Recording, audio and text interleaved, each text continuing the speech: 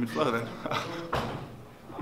This is James Rudder for IFL TV in association with Macklin's Gym Marbella. With me, got the White Rhino Dave Allen for his points win against Fabrice Auriemma. How you feeling, Dave? yeah, I feel um, I feel good. It's a good win. It's a very good win. He's rated a lot higher than me. Uh, it's a good fight. He's got some. Say he beat Gregory Tony and Zumbano Love. Uh, I dropped him in the first 15 seconds and uh, just got stuck in a fight with a big tough man. And uh, you know, it was pretty level. Pretty level. It was level apart from the knockdown. So it's a good win.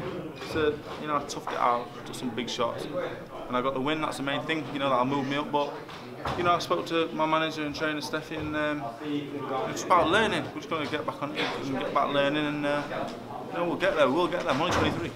I was expecting a big six foot seven like swinger, and uh, you know, and. Um, So wait, you was expecting to face someone of six foot seven. yeah, I got someone six foot one. And then you ended up getting someone that's six foot one. Was that quite hard for yourself to, to, to switch around everything you've done in Yeah, camp? yeah it, the opposite ends of the spectrum in, in stands. He was a southpaw tonight, different style, very experienced. I was expecting an in- inexperienced giant. Uh, that's that's no excuse. You know, it's a win. It's a win, and uh, that's the main thing. I'm unbeaten in nine. I'm in only 10 amateur fights, you know, and I've got a win over a really high-rated Frenchman there. And it was a good fight. I know you didn't see it, but you know, it was like a poor man's Gatti Ward in there. That's what was going off, and uh, I don't want too many of them because I'll end up like, well, not Gatti, hopefully. But yeah, it was it was uh, it was good. It was a good fight, and uh, I think people will want to watch me again after that. But it wasn't impressive. It was nowhere near what I can do, but it's a win, and we move on. What do you think the likes of Anthony Joshua would think if he watched today's performance? He would probably be laughing his massive Really, muscles off at that. You know, there's no disrespect with me calling Anthony out. You know, I hope he doesn't see it like that, that. Um, I'm talking about in two years' time. I need another ten fights, two years, lots of hard work, and uh, I'll get there. It's all there.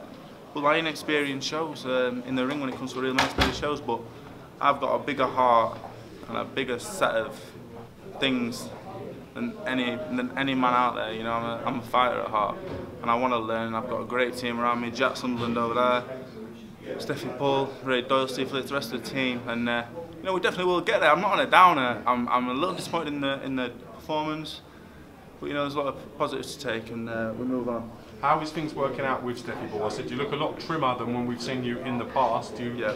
you seemed a lot more focused, a lot more comfortable within yourself. So things working out well with Steffi? Yeah, really well. You know, as an old family friend, uh, we've got a great personal relationship. Same with Jack, um, same with Steve and the rest of the team. Um, you know, I'm not going to be too down on performance. It wasn't a great performance, but you know, we've got the win and we, we'll just move on. It's just about winning at the end. At the end of the day, and uh, that's what I've done.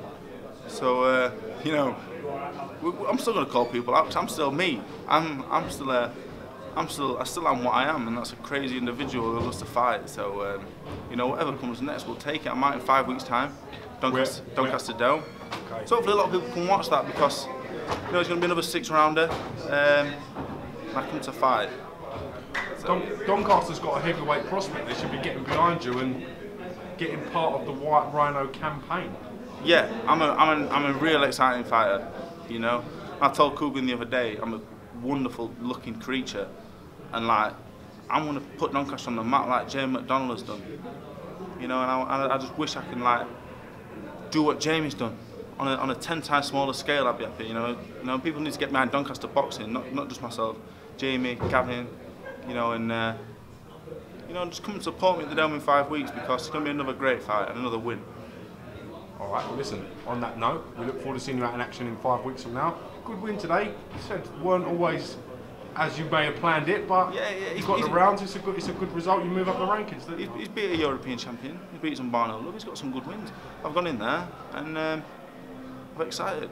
I'm excited and and I, I aim to excite and I aim to uh, impress. And I may not have impressed, but I'm excited. All right. That's a definite. On that note, we'll catch you again real soon. Thank you for your time. Thank Dave. you, James. Always, a pleasure. Thank you, mate. Thank you. Cheers.